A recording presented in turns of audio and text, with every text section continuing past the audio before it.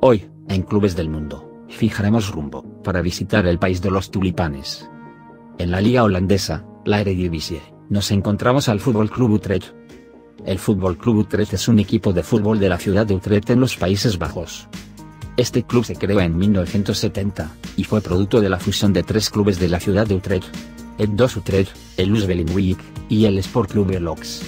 Desde su fundación en 1970, el Fútbol Club Utrecht juega de manera ininterrumpida en la primera división holandesa, la Eredivisie. Cabe señalar, que el Utrecht, es uno de los cuatro clubes de su país que nunca han descendido de división. Anteriormente, su predecesor, el 2 Utrecht, ya había sido campeón de la liga holandesa en 1958. El mayor éxito del club, fue sin duda, la conquista de la Copa Holandesa en tres ocasiones, en 1985, 2003 y 2004. Además, se llevó la Supercopa en el 2004. El estadio Gelgenwaard, es donde el Utrecht disputa sus partidos como local. El estadio fue inaugurado en 1970, pero renovado y reinaugurado en el año 2004. Tiene una capacidad para albergar a más de 23.000 aficionados. En 1970, el primer entrenador del Fútbol Club Utrecht, fue el holandés Bert Jacobs, de 29 años. Dependía de él y sus colaboradores, fusionar los tres clubes anteriores en un solo equipo.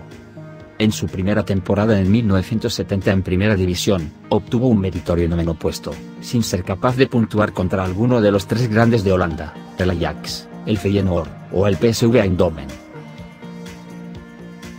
Durante la década de los 70, el club finalizaba la temporada mayormente, en puestos de mitad de la tabla clasificatoria. En 1981, lograron el tercer puesto en la Eredivisie, siendo su mejor puesto obtenido, lo que le valió por lo tanto, su primera participación en la Copa de la UEFA. Después de superar en la primera ronda, al Arges Pitesti rumano, el equipo resulta eliminado en segunda ronda, por el Eintracht de Frankfurt alemán. En esa época en el club se formaron jugadores como Hans van Breukelen, Leo van Ben, y William van Anegem, que solían estar entre los mejores del equipo.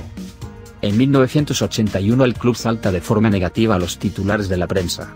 Se revelaron las contribuciones a la seguridad social no pagadas, los impuestos sobre la nómina y el fraude de ingresos. El club se declaró en bancarrota y estuvo a punto de desaparecer.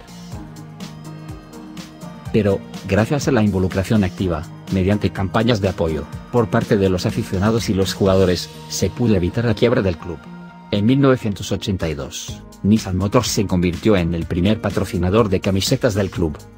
Debido a la falta de dinero, el club empezó a apostar fuerte por la cantera. Resultado de ello, fue la participación en 1982 en su primera final de la Copa Holandesa. La final se perdió ante la Alkmaar. En 1985, la idea era vender el club a un importante inversor.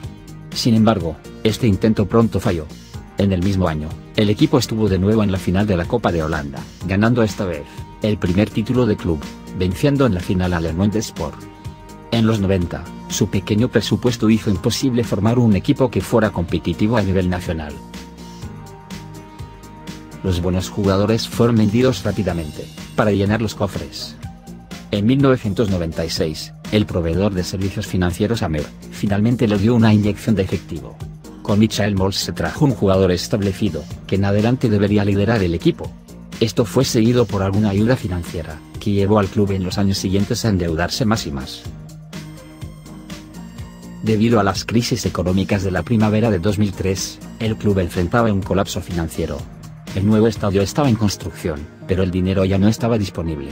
Sin embargo, al reorganizar y vender todos sus activos, el Utrecht logró una vez más superar este problema. En agosto de 2004, el nuevo estadio fue finalmente inaugurado.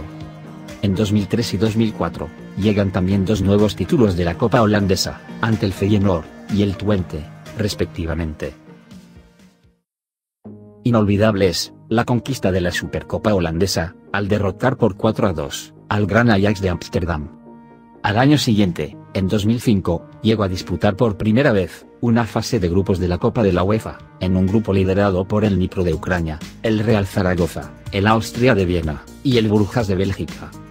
En 2011, repite, y logra jugar en la fase de grupos de la Europa League, quedando último en un grupo formado por el Liverpool, el Nápoles, y el Steaua de Bucarest. Hechos a destacar fueron, que entre 1972 y 1980, Leo Van Ben, fue nueve veces el máximo goleador del Utrecht. Han William Van Ede, absolvió entre 1981 y 1996, en total 409 encuentros para el Utrecht, y se convirtió en el jugador que más partidos disputó para el club. En 1979, William Van Anegem, se convirtió en el primer jugador del Utrecht, que llegó a ser jugador de la selección nacional holandesa.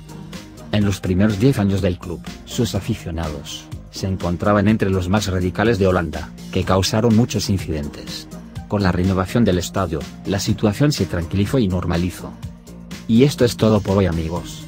La liga holandesa tiene la fama de ser una liga muy goleadora. Y el Utrecht no es ninguna excepción en ese sentido. Un saludo, y nos vemos en el próximo video. ¿Te ha gustado el video? Si es así, puedes suscribirte a Clubes del Mundo, para recibir las últimas actualizaciones y nuevos videos del canal. También puedes apoyar con una donación, para premiar el trabajo y esfuerzo que realizamos en Clubes de Mundo. El botón de donación lo encuentras en la cabecera del canal, en la parte superior derecha, o en el texto de descripción del video. Cada club tiene una interesante historia que contar, y en Clubes del Mundo os la contamos.